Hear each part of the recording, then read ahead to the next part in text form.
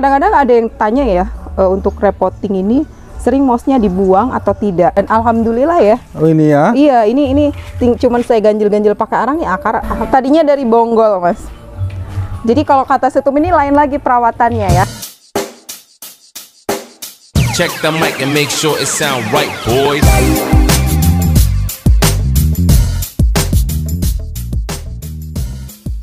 Nah, ini sahabat-sahabat, ini menanggapi pro dan kontra ini ya terkait repotting anggrek Bulan. bulan, maupun dendro.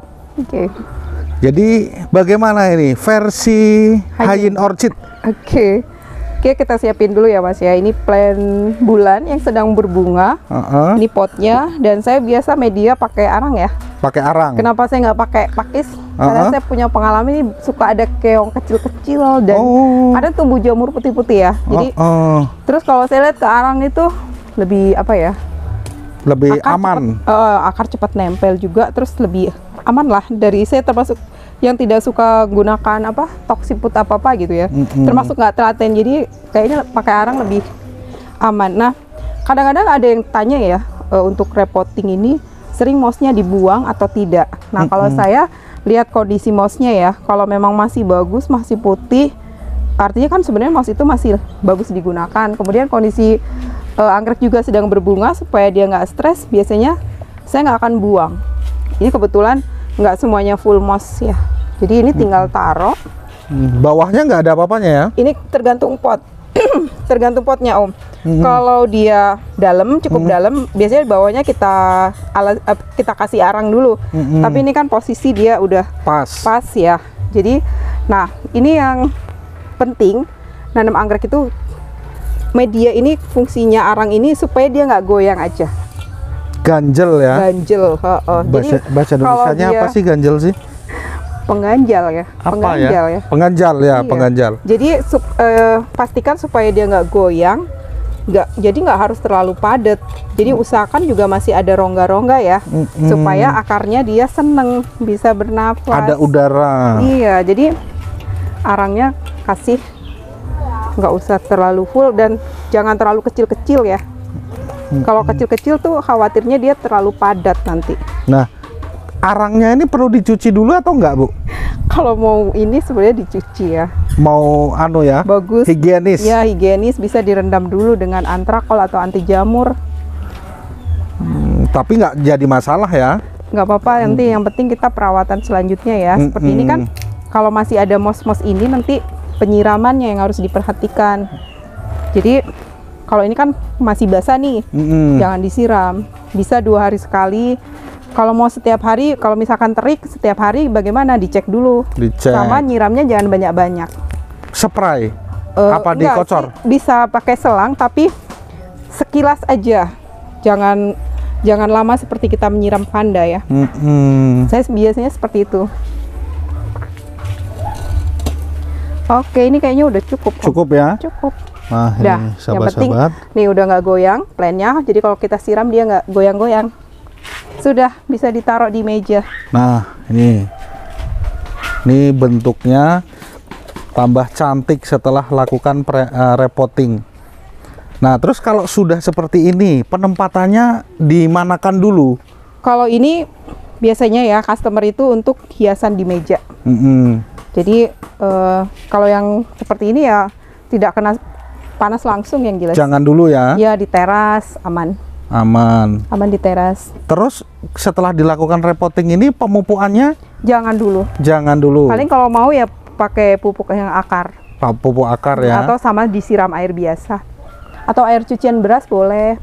Nah, kalau ini sudah ditaruh di teras rumah atau eh, di ruang tamu, perlu nggak dikasih anu, dikeluarkan gitu Kalau di ruang tamu perlu ya kadang-kadang dia kan tetap perlu sinar matahari Sinar untuk matahari. fotosintesisnya itu sendiri ya Mm-mm. supaya daunnya tetap segar. Nanti kalau udah setengah bulan ini bisa sambil dibantu pupuk daun atau yang aman ya dikasih Osmokot atau Dekastar Oh, dekastar, ya. Iya. slow release ya. Iya, sedikit aja nih, Om. Kita nggak usah banyak-banyak. Efektif mana, Bu eh, Widi? Iya. Digabung jadi satu itu, wadah itu, atau ditabur? Kalau potnya memungkinkan efektif ditabur ya.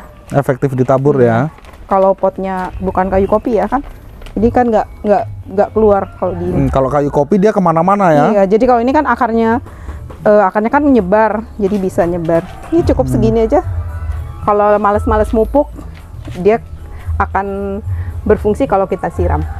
Nah, pot segini ini, ini diameter berapa nih? 18 atau 20 ya? 20 nggak nyampe. Atau ya? 15? 15-an mungkin ya. Berapa biji, Bu, dekastarnya? Kira-kira setengah sendok teh mungkin setengah ya. sendok ya. Oh. Dan akan dilakukan dekastar lagi selama Kalau dia Enam bulan? Iya, tiga bulan mungkin ya. tiga bulan ya. Kalau dia sudah kelihatan dekastarnya itu mau pecah ya, bening kan lama-lama. Mm-mm. Nah, itu mungkin bisa ditambah. Mm-mm. Oke, terima kasih nih Sama-sama, tipsnya versi Hayin. Orchid. Jadi nggak perlu di, Kalau mosnya masih bagus, nggak perlu dibuang. nah Tinggal perawatan penyiramannya saja yang harus diperhatikan. apa resikonya kalau sampai mosnya itu, wah tapi saya takut mosnya saya bongkar lah, saya Kalau buang.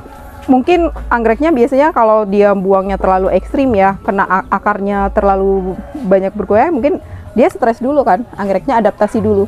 Hmm, Kan kalau nanti mosnya udah nggak ada nih, Hmm. otomatis kan tinggal akar. mm-mm. Kalau mau aman, ditempel. Oh ditempel. Kan nggak goyang akar. Tapi kalau dia pakai arang ini biasanya masih rentan pada saat disiram itu lari sana lari sini. Stres dia ya. Ya kalau akarnya nggak nempel-nempel itu kan dia lama-lama nanti stres. Rontok nggak bunganya? Bisa jadi. Bisa jadi ya. Tapi kalau memang mau mosnya mau dibuang, paling aman ditempel. Karena nanti akar itu cepat ngikatnya. Hmm, gitu. Tapi kalau untuk di pot eh, atau kalau mau ragu-ragu ya bisa juga pada saat dia kondisi masih berbunga ini jangan di direpotinya seperti ini dulu. Nanti bisa kalau memang nggak seneng mosnya, kalau dia udah selesai bunga baru mosnya dibuang. Mungkin bisa juga seperti itu. Ka- Karena ah, udah nggak kondisi berbunga kan. Betul. Wah, tapi kan kalau bulan ini sayang, nah, nanti dikasih salep ini. Oh iya bisa ya. Biar aduh. Ini sih sebenarnya nih Om, saya punya yang eh, aman nggak sih mos? Nah ini saya pakai mos semua dan alhamdulillah ya. Oh ini ya. Iya ini ini ting- cuman saya ganjil-ganjil pakai arang ya akar alhamdulillah jalan. Yang penting penyiraman ya. Oh, oh. Dan mosnya jangan terlalu basah ini aman. Ini juga aman nih. Eh, kelembapan juga terjaga iya, ya. Iya. Ini malah berbunga lagi nih Om. Nih. Ini juga mos nggak saya buang, tapi yang penting kita penyiraman jangan terlalu basah. Ini udah nih. Hmm, Dia ini belum ada setengah tahun nih. spek ya. Iya, ini juga nih berbunga lagi dari batang yang sama. Efek salep bukan? Enggak. Enggak ya. Hanya Manual dia. Rutin kita, ini kan saya kasih dekastar sama rutin saya pupuk aja. Oh, oh. Dan kemarin ada shock terapi dia. oh. Jadi tadinya tempatnya teduh, ini saya panaskan kan tanpa saya kasih paran. Ini daunnya memang kuning-kuning.